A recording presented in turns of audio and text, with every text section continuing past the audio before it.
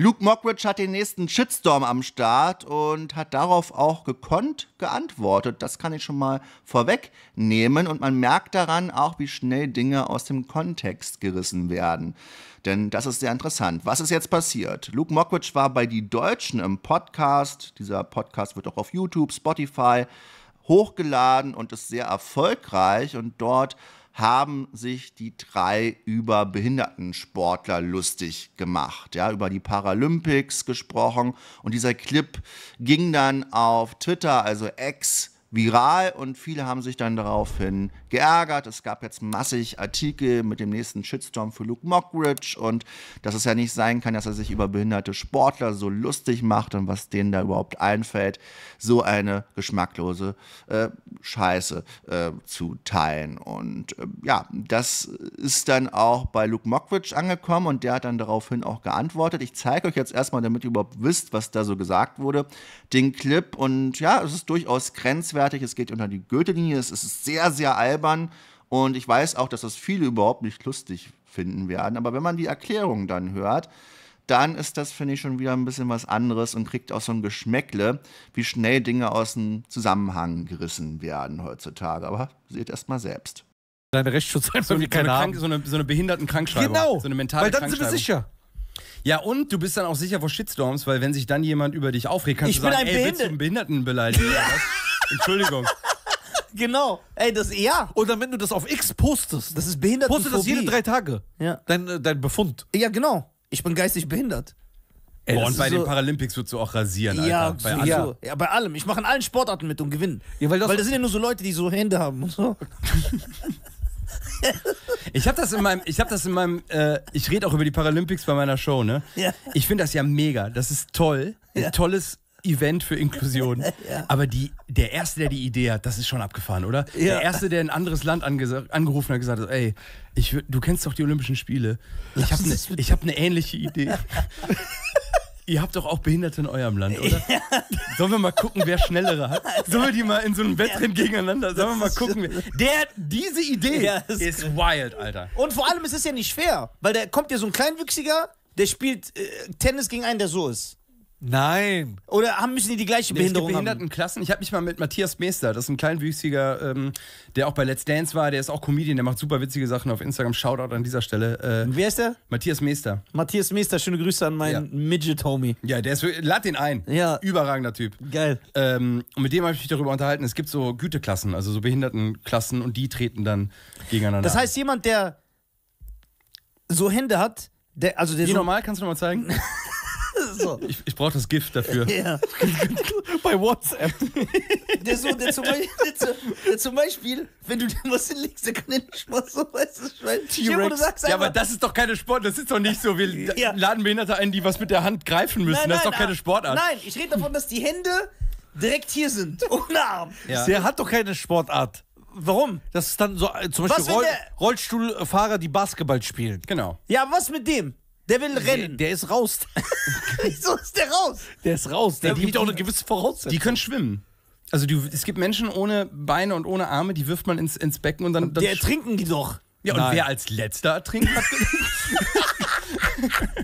der hat dann gewonnen. Der gewinnt, der gewinnt und überlebt. Beides. In den 90ern wurde es ja in Australien abgeschafft, dass es kleinwüchsigen Weitwegwurf. Gab's das? Das gab's. Das ist geil. In den 90ern, da durfte ein großer, der musste auch eine gewisse Statur haben, durfte einen kleinwüchsigen werfen. Natürlich ganz mit Sicherheit mit Matten und alles Mögliche. Und das wurde dann abgeschafft wegen irgendeiner blöden Menschenrechtsorganisation. Ja, die sind so unnötig, diese Organisationen. Ja. Die bringen nur Unheil. Da, vor allem haben sich bestimmt Leute darüber aufgeregt, die selber nicht kleinwüchsig waren. Ja, oder? genau. Ja, das ist immer so. Ja, ja. Das ist immer so. Das stimmt. Wenn ein Kleinwüchsiger sich paart mit einem Normalgroßen, Da ist, kommt auch ein kommt normales das, Kind. kommt das Kind, aber ist das so ein Zwischending? Nein, Also der halbe Kopf ist so verformt und der andere ist so ein. Guck mal, du Ja. darfst über Köpfe gar nicht Ja, ich habe schon einen bösen hässlichen Kopf. Das ist echt ein Das krass. sieht Ja. dann so aus, als ob ein Kind das gemalt hätte. Weißt du? Ey, dein Kopf ist schon hässlich. Okay, Du was? hast einen normalen Kopf, Luke. Ja, ich Findest bösen. Ja, dein Kopf ist normal, aber seiner, guck mal, guck mal von der Seite. Ja, ich habe schon so einen Ich habe bei dir so das Gefühl, du bist so wie der, so der, so einer, so ein Brut, der ältere Bruder von einem der Ninja Turtles. Ja, der, das- so, der so oben wohnt.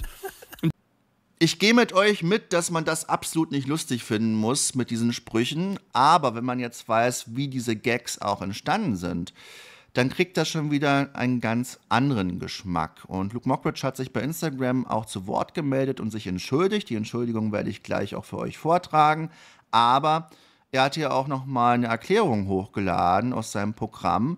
Und da merkt man dann schon, dass es die gleichen Gags sind und ähm, auch genau quasi der gleiche Wortlaut dort gewählt wurde. Und warum der so gewählt wurde, und welcher Zusammenhang dort auch drin steckt, ist schon interessant und den sollte man nicht vollkommen außer Acht lassen. Also die ganzen Leute, die bei Twitter das dann so hochladen und sich darüber aufregen und den Kontext dazu nicht benennen, beziehungsweise vielleicht gar nicht kennen, ja, das ist dann ein bisschen schwierig, aber dafür habt ihr ja mich. Also lasst gerne ein kostenloses Abo da, wenn euch solche Videos gefallen, denn ich kläre hier auch ganz gern mal auf, um was es überhaupt geht und zeige euch jetzt hier erstmal, was Luke Mockridge dazu äh, zu sagen hat. Paralympics sind super, die machen wirklich Wunder für Inklusion, was die geschaffen haben. Das ist ein tolles Event und Leuten dabei zuzugucken, wie sie über ihre natürlichen Grenzen Dinge erreichen, die ich als vermeintlich gesunder Mensch nicht mal hinkriegen würde. Das ist total inspirierend, das zu sehen. Ich finde das Konzept trotzdem abgefahren. Der Erste, der die Idee hatte, das ist schon ein krasser Typ, oder? Ihr habt doch auch Behinderte in eurem Land, oder? Wäre es nicht voll cool, wenn wir versuchen rauszufinden, wer Schnellere hat? Habt ihr so kleine, boah, bring mit, bring mit. Die geben mir so Zahnstocher und dann können die so, weil wir lieben Kleinwüchsige. Keiner sagt, diese scheiß Kleinwüchsigen nehmen uns die Jobs weg. Pff, als was? Als Pfeifenreiniger? Entspann dich. Ich weiß, nein, ich finde die super. Kleinwüchsige haben keine Feinde, außer Schuhsohlen vielleicht. Aber Kleinwüchsige, Bevor ihr mich jetzt irgendwie hasst, möchte ich mich äh, kurz outen an dieser Stelle. Ich habe die letzten paar Gags mit einem Kumpel von mir zusammengeschrieben. Der heißt Matthias Meester und ist kleinwüchsiger paralympischer Sportler. Der wäre auch bei Let's Dance, der ist Comedian auf Instagram und super witzig. Wir haben ein tolles Gespräch geführt, nicht unbedingt auf Augenhöhe, aber ein tolles Gespräch. Und ich habe dann gesagt, weißt du, ich werde das hier auf einer Bühne erzählen. Sag mir doch, was das größte Problem eurer Community ist, weil dann kann ich das den Leuten auch erzählen und dann haben die einmal gelacht und haben sogar was gelernt. Das ist doch toll. Und dann sagt er, geil, das größte Problem meiner Community, Luke, ist Mitleid. Weil wir können alles machen. Kleinwüchsige können alles machen und wir wissen, dass das ein bisschen lustig aussieht, wenn wir irgendwie rumlaufen und wir haben gelernt, aus einer Schwäche eine Stärke zu machen. Deswegen finde ich diese Nummer so geil, weil du wirst diese Gags erzählen und ich freue mich jetzt schon darüber, dass wildfremde Menschen stellvertretend für mich ein schlechtes Gewissen haben werden. Zu dem Clip von Luke Mockridge, den ich euch gerade gezeigt habe, hat er auch noch was geschrieben. Und ich zitiere das jetzt hier einfach mal. Diese Nummer aus meiner letzten Tour bezieht sich auf den viral gegangenen Clip. Selbstverständlich war es nie meine Absicht, Menschen mit Behinderungen ins Lächerliche zu ziehen, besonders während dieser großartigen Paralympischen Spiele. Die Jokes habe ich gemeinsam mit einem paralympischen Sportler und Comedian erarbeitet um darauf aufmerksam zu machen, dass Mitleid oft die schlimmste Form der Ausgrenzung ist. Der Zuspruch gerade von Menschen mit Behinderungen war enorm und durchweg positiv. Ja, das ist subjektiv und ja, das wird im kurzen Trailer-Clip nicht deutlich. Klar ist auch, Gags, die man erklären muss, sind handwerklich nicht gut. Aus meiner eigenen Erfahrung mit der Arbeit mit behinderten Menschen habe ich immer einen scharfen schwarzen Humor erlebt, den ich gefeiert habe dass es mir nicht gelungen ist, das richtig zu vermitteln und dass ich Menschen verletzt habe, tut mir wirklich leid. Es fuckt mich auch ab, dass Medien zum Ende dieser Paralympischen Spiele mehr über mich sprechen und nicht über das Turnier. Die Einladung des Deutschen Behindertensportverbands nehme ich sehr gerne an und freue mich auf den Perspektivwechsel und darauf aktiv zu lernen.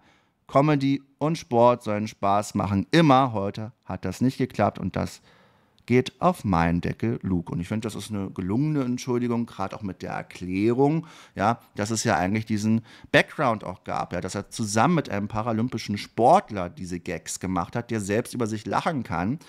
Und ich finde das wichtig, ja, wenn Leute aus der Community sagen, ich finde das witzig oder größtenteils finden sie es witzig und wir haben das zusammen mit ihm gemacht, um auch darauf aufmerksam zu machen, dass es eigentlich schlimmer ist, diesen Mitleid immer zu spüren, ja, oder statt vielleicht mal drüber zu lachen. Ja, und ich habe das auch mit der Arbeit mit behinderten Menschen erlebt, dass dort ein sehr bissiger und auch heftiger und schwarzer Humor äh, oft ähm, geteilt wird, sodass man auch als Mensch, der dann einfach den Leuten begegnet, sofort die Blockaden verliert und merkt, okay, die lachen über sich selber und finden das vielleicht auch mal lustig, wenn irgendwas passiert, äh, was auf deren Kappe geht, ja. Und das ist dann halt, finde ich, ähm, dann auch sehr angenehm zu sehen, dass auch, ja, das von den Leuten oft viel positiver wahrgenommen wird und auch drüber gelacht wird, als das dann auf X oder Instagram und Co zum Thema gemacht wird. Ich kann aber auch die Leute verstehen, die immer noch sagen, Mensch, das ist trotzdem irgendwie too much und verletzend und das muss doch jetzt auch nicht sein.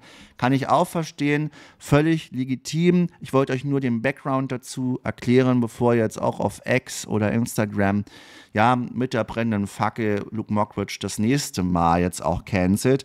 Ähm, denn wie gesagt, so wie es dort bei Instagram, Twitter und Co abging, ist es jetzt auch nicht gewesen. Wie gesagt, es gab diesen Background und wie gesagt, man kann es trotzdem nicht lustig finden, aber Humor ist halt auch immer Geschmackssache. Ja, feiert ihr es jetzt witzig? Ja oder nein? Ihr könnt es ja mal unten reinschreiben. Seid ihr vielleicht selbst sogar Betroffene, die das Video hier gucken und fühlt ihr euch angegriffen oder lacht ihr eher drüber? Schreibt das gerne unten rein und wenn ihr kritischen Content wie diesen mögt zu ja, aktuellen Themen, dann lasst gerne ein kostenloses Abo da. Ich würde mich sehr freuen, wenn wir weiter wachsen. Wir sind auf einem guten Weg Richtung 65.000, Schritt für Schritt und ich würde mich sehr freuen, wenn ihr dazu stößt. Soll es das für heute gewesen sein. Bis dann und ciao, ciao.